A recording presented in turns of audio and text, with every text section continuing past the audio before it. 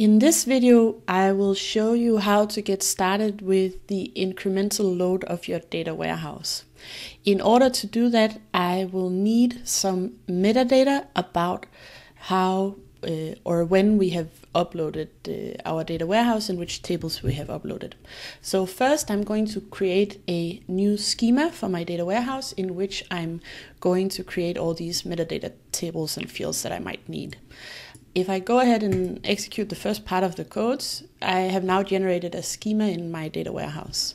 Then I create a log update table that's going to hold the name of the field and when that was last uh, updated. And you can see the last load date is an integer. That's because this is the one I'm going to be joining on. And integers are very performant when joining, so that's a, that's a pro of using that for for the date field.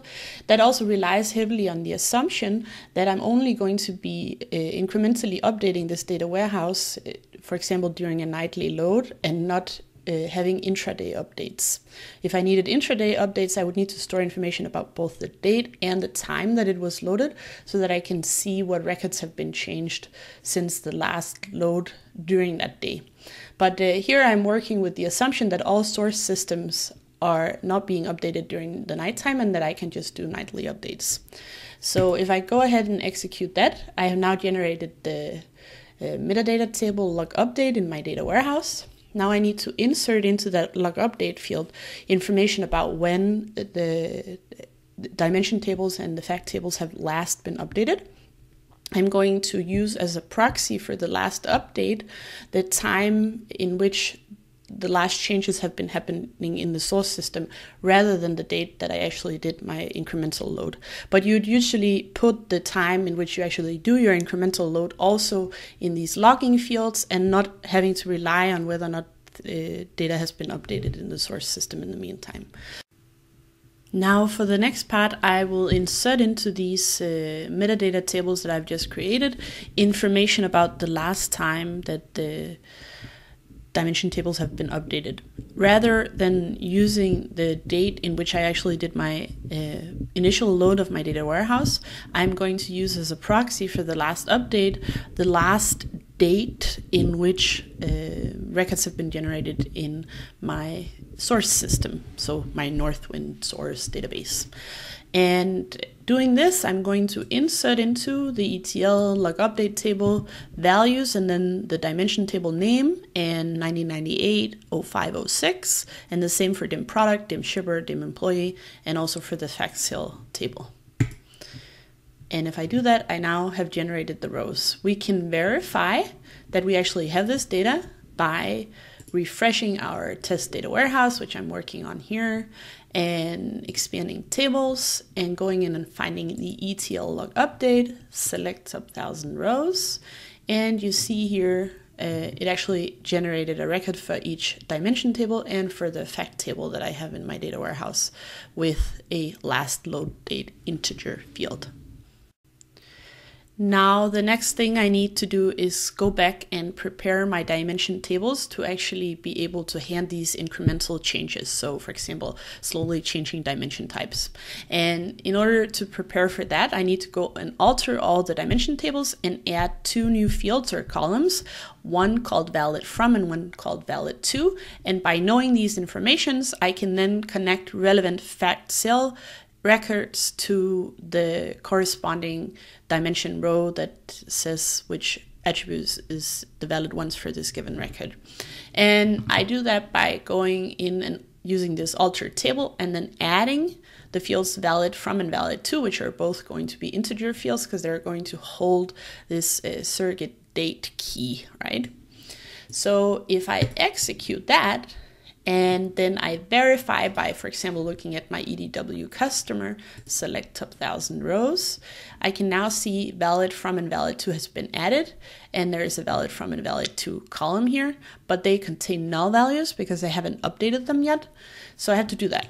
I go back to this script, and now I update all of my records, and I need to, to delete this because that's, uh, otherwise it's pointing to the wrong the wrong database on my left hand side, right? And I'm using this test test WH DWH for, um, for making these videos. So I update the current records with valid from, and for this purpose, let's use the first record in the fact sales table because that's when the source system most likely has been implemented since it started capturing data. And then for the valid to date, I'm going to use a future date. And I've come up with this mock future date of the year 9999 or 101. And that's just a, it's just a, a mock-up date. It, as long as it's one in the future, right? You can also change it every day to be the next day. But uh, to me, that just seems uh, wasteful. Let's just put it very much in the future and then when they become not valid we update them and something else becomes valid so i update all of my dimension tables with this valid from and valid to date. If I hit execute, I'm now getting uh, yeah an error on the dim product. That's because I have a typo here. I call it dim product in singular form and not dim products in form. So if I execute these 77 and three rows, yes, and we can now verify by looking at this dim customer table that we should now have valid from the first possible date and valid to the very future date on all of our records. So that looks nice. In this next part of the video, I'm going to show you how to actually deal with the incremental changes in the data warehouse. We're going to be looking at adding, changing, and deleting. In order to follow along with this video, you will have to make some changes in your source database. So that is the source Northwind database. So to follow along with this video from now on, you have to follow a three-step process. First, make the, the change. So if uh, we're going to do addition, then you add. If we're going to look at the changing records, then you change a record and so on. Then the next part is uh, run the initial uh, update. So update your stage table. This is exactly the same uh, stage load as I shown you in the initial population of your data warehouse in previous videos this semester. Then follow along in the videos. That's going to be the third step. I'm going to show you how you can actually change tables in your source system. So let me show you how to add a new customer to the DBO customers table in the Northwind database. So if you go to Northwind DB, find DBO customer, and then select edit top 200 rows, then you open up everything in an editable format here. So now you can change if you want, but I was going to show you addition. So I will scroll way down and I have an entire null record here. And if I put some data in here and enter, then I submit that data to the source database. And I'm going to create a new customer here and I'm going to use that uh, customer ID for among and then call the company among us and let's do a contact name for that. Uh, it could be my name. Let's just put my name.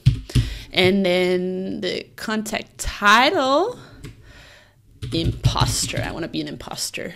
Then address, online everywhere. Where in, let's do the world, whatever. And then region, let's leave that for null. Post, postal code. Actually, let's change it um, country, Denmark. Phone, yeah, I'm not giving you my phone number. Zero zero zero. And fax, I also don't have a fax, so let's leave that for now. If I now hit enter, I have submitted that record. If I close this edit editable editable table, not edible, clearly not. And I hit execute for customers, I now see Among Us generated with a row here.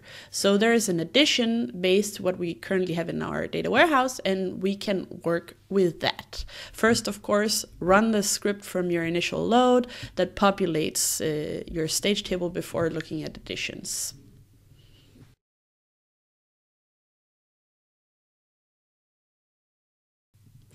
Now you see here in the StageDim customer table, I have the Among Us row table that I created here, but in this uh, EDW table, I don't have an Among Us record because I haven't inserted it yet. And I want to insert it with the correct valid to and valid from date for, for added records here so that it doesn't all of a sudden become uh, valid for older uh, records, but only for the records generated within this valid from valid to window. Uh, and in order to do that, I use this script that I prepared here. I declare, I, I, use variables in SQL. So I declare a last load date int, set the last load date, and then I go into my uh, metadata table log update, and I find the max, so the highest value for last load date where the table is dim customer. And I'm only going to show how to do this for the customer table, but of course you have to repeat it for all your other dimension tables as well.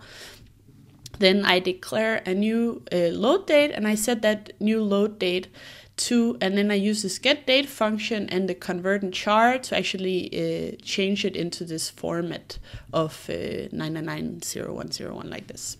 Then I declare a future date int and I set the future date and this is my uh, pseudo future record key that I just came up with. And you can use tomorrow, like I said earlier, you can use tomorrow, but, but I'm using this. So after declaring these variables, I can now actually uh, start writing the script that's going to insert these records and I insert into EDW customer all the fields and I select the fields and for valid from and valid to I use these variables that I just declared previously and from and I'm of course going to use my stage table as my source for the EDW table. Now here's the kicker, right? So I have to uh, choose only the records that have been added and to find the edits I say select customer ID from stage dim customer, except select the ones that are already in EDW uh, customer where valid 2 is uh, future date. And if I just run this part of the script just to show you, execute, I only get this customer uh, ID among that you saw me create. So if I do this, insert into and do all this, I only get that one record, right? But I want to use uh, the variables, I have to include that in, in the script that I'm going to run. And if I hit execute on this, it should say successfully inserted one record. Yes.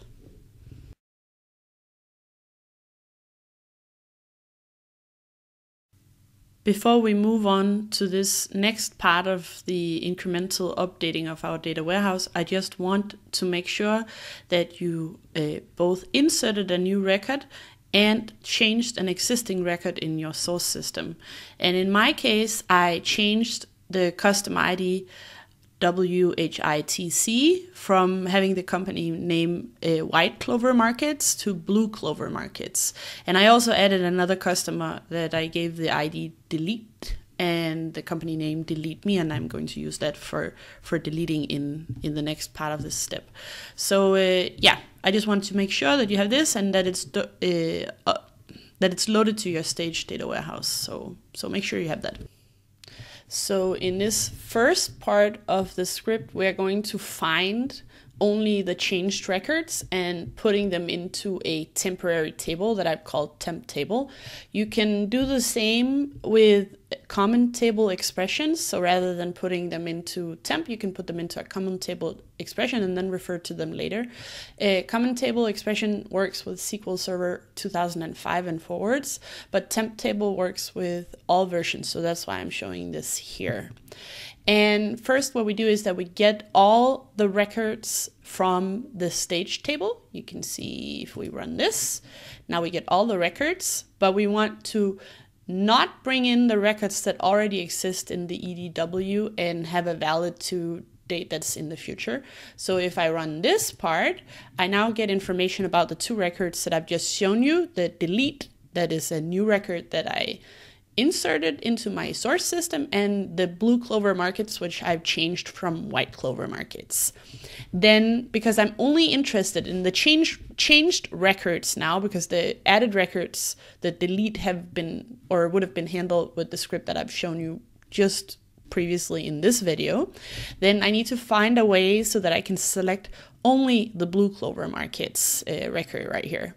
So I then put an additional except select statement in which that select statement is selecting from the customer table and then having this where clause to actually find um, if we run this where clause you can see so actually finding the new record using this uh, this select statement in here. So if I run the entire thing here, what I get is only the record where I changed the name. So the changed records here. And if I remove these comments from the into temp, then I will insert this record into a temp table by running this script. So then, and I'm just going to talk about it and then come back to it. So then using this temp table as the source and this insert into, I can insert into my EDW table using only the records that I temporarily put in the temp table. Then I can update my EDW customer and set the valid to new load date minus one, where customer ID in, and then finding the all the changed records from this temp table and EDW dim customer valid from is newer than the new load uh, new load date and then drop the temp table if it exists. Because I need to drop it because if I don't drop it it's gonna give me an error next time I run the script uh, due to the fact that this temp table already exists if it's within the confinement of the same connection. So I still need to use these uh, set set variables with load date and everything. So I now run everything and that should give me uh, the changed records.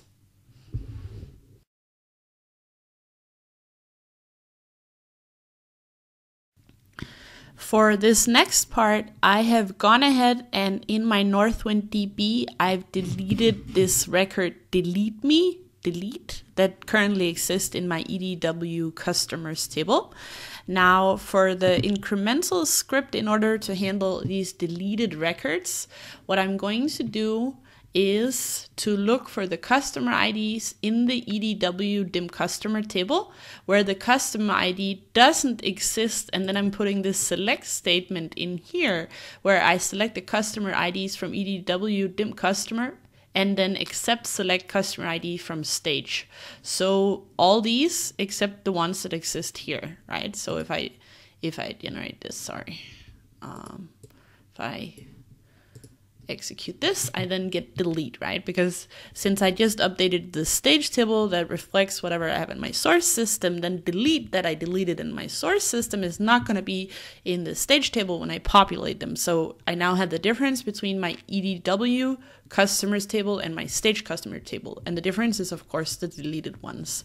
And then I use this script to say, uh, update EDW dim customer, set the valid to date on the delete to be the day that I'm loading now minus one. So it was it was valid up until yesterday and then and delete it. And by the end of the whole thing, I also want to log a new metadata to my log update table to let, let the table know when when I've up updated my entire DIM customers table because these three things that I've just shown you to get added, changed, and deleted, you want to do them in one flow, right? So that's the entire incremental update for dim customer, and then you lock at the end of it. And in the same way, you don't declare these variables for each part of the script. I've just done that to, to step through the code for you in this video.